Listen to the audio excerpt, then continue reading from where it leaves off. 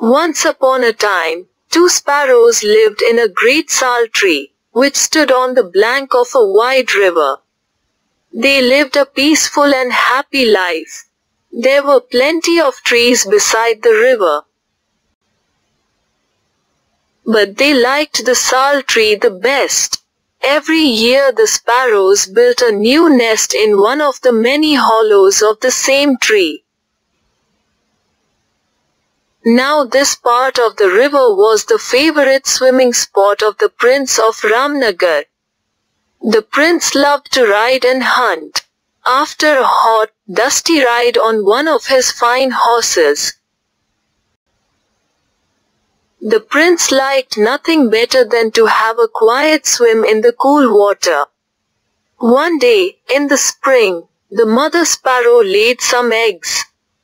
The sparrows were delighted.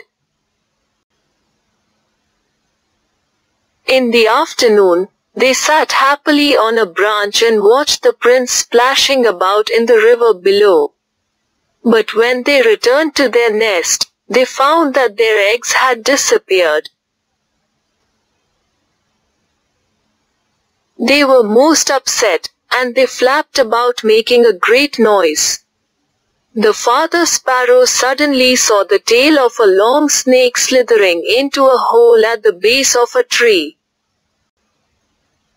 He knew what had happened, the sparrows fluttered from branch to branch and made such a noise that they woke their friend, the owl. He wanted to know what was going on. So they told him about the missing eggs and the snake.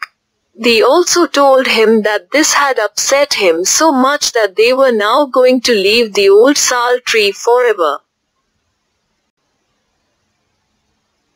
The owl listened their sad story, and he nodded his head and rolled his eyes. Don't worry, my friends, said the owl. You must not think of leaving your nest and going away because of that horrid snake.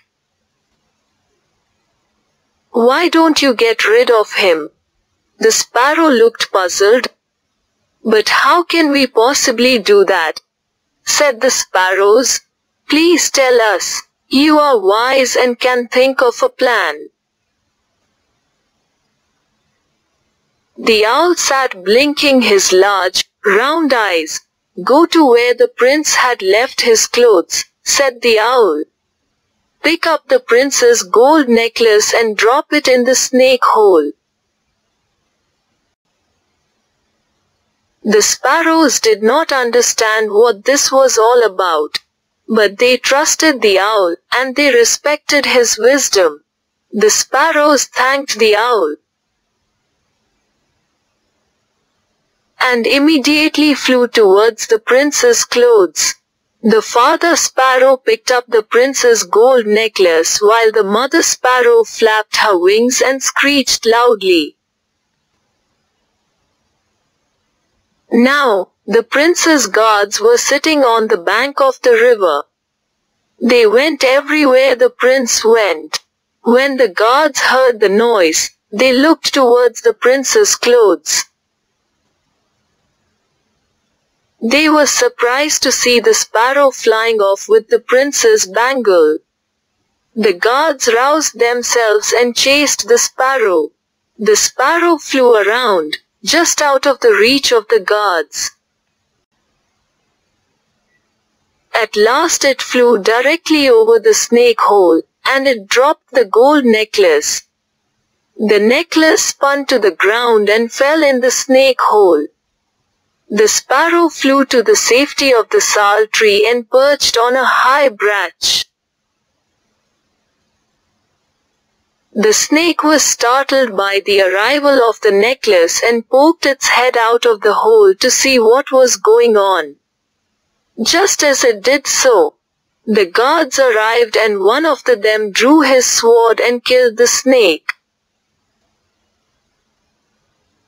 That was the end of the snake. The sparrows was overjoyed. They thanked their friend the owl and praised his intelligence. The sparrow continued to live happily in the sal tree for many years. The following years, the mother sparrow laid some more eggs and the baby sparrows lived with their parents in the sal tree.